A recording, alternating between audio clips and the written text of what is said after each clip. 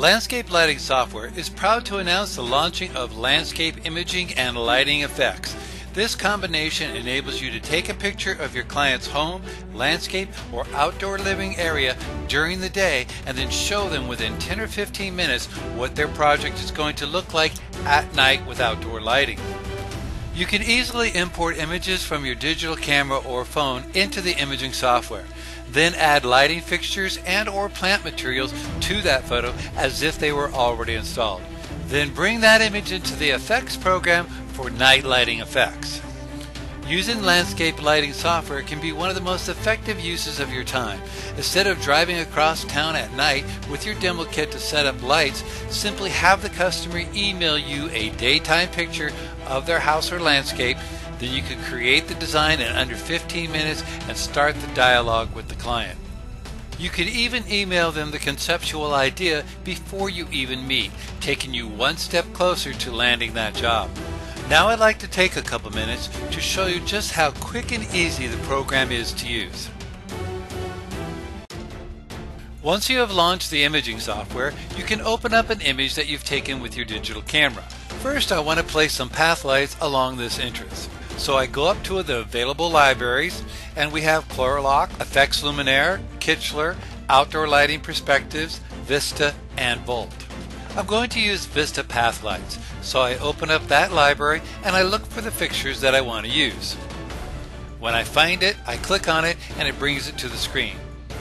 And I'll place it where I want it and size it down by dragging on the box around it. I'm going to need more of these lights, so I'll use the duplicate command and I'll click down wherever I want a new light fixture. Then I will adjust the size of these, with the ones farther away being a little bit smaller to give it perspective.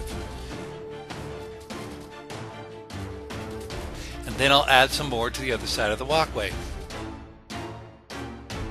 Now if you want to try out different lighting fixtures for a different look, just select all the fixtures that you want to change out. Then open up a library and click and drag the image from the library onto one of the images in the group.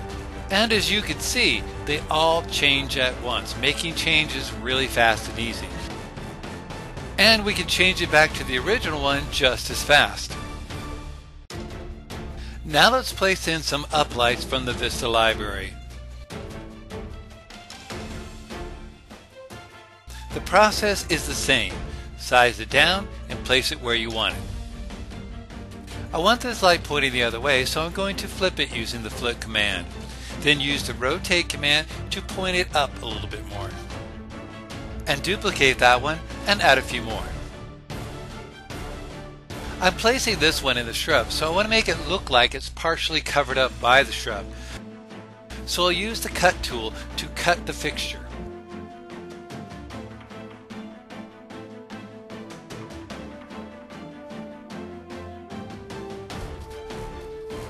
Now let's place a light up here in the porch area. So I bring up the Kichler outdoor lights and find something that will look good.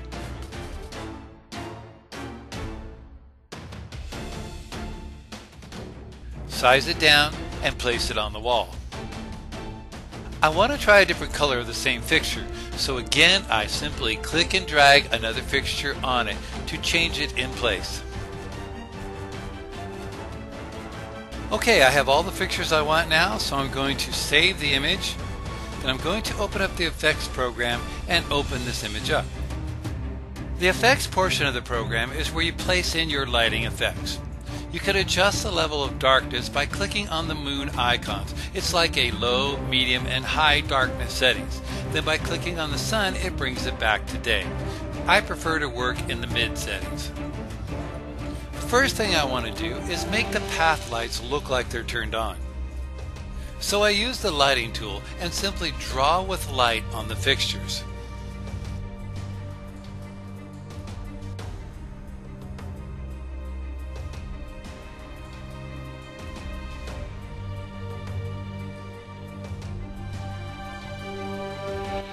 And I want to do this on the up lights also, but I drew too much light as you can see.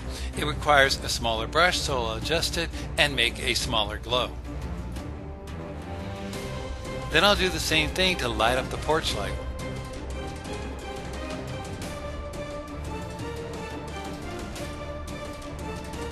Let's make it darker so you can see the effect better.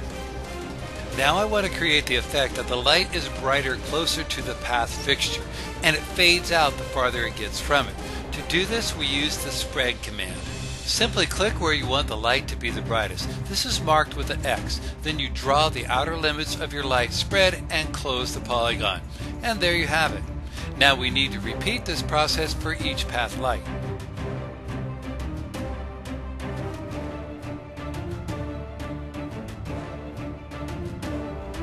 Now we want to make the light shining up on the wall. So again, we pick the hot spot, draw in the boundaries,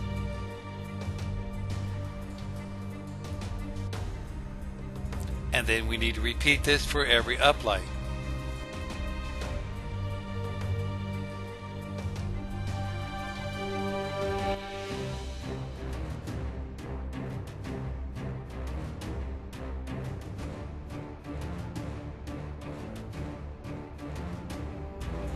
For the porch light, I want to create a spread on the porch first, and then a spread going from the light to the porch.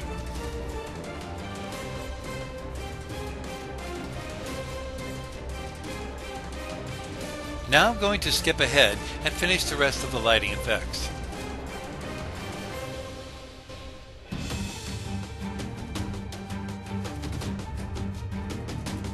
I want some more light on the side of this plant that is close to the fixture, so I draw in some light on the left side and the right side. Now let's zoom out so you can see the whole picture, and now you can see the difference when you click on the day icon and back to night. Now let's save this image once again so we can come back to it later. The program has the ability to label the fixtures on the screen that are in the fixture library in the effects program. You select on the fixtures icon and then find the Vista path light we used. And then click on it, it brings up this spec sheet for that fixture. If you want to add a label to the image, then simply click on Add and place the text where you want it. You can do this for the path lights as well as the uplights, and the program will make a list of everything that's labeled on the screen.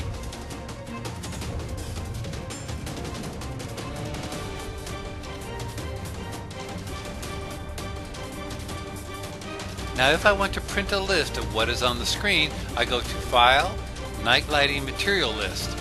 And I can print it out or I can make it a PDF. It gives me the quantity of each fixture that is on the screen and leaves open spaces for details like mounting, color, and pricing. You can also make a before and after presentation by going back into the imaging program and opening up the image I just created and saved in the effects program. Then open up the before picture, size it down, and place it up in the corner. And place some text in the image like your company name and phone number.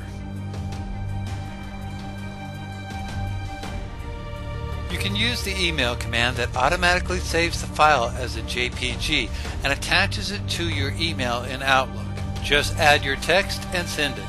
Now I will open that email in my Outlook and open the image that is attached that had the before and after. Now you've seen how you can take an image during the day and within less than 10 or 15 minutes create an image with fixtures, night lighting effects, before and after presentation, materials call out image, and a materials list to help you with your estimates. Could you run across town with your demo kit, set out the lights, do the presentation, and create a materials list that fast? If the answer is yes, then you don't need the program. If the answer is no, I suggest you give landscape lighting software a try as soon as possible. It could pay for itself in the first job you land. Give us a call today at 772 647 8147 or order online at www.landscapelightingsoftware.com.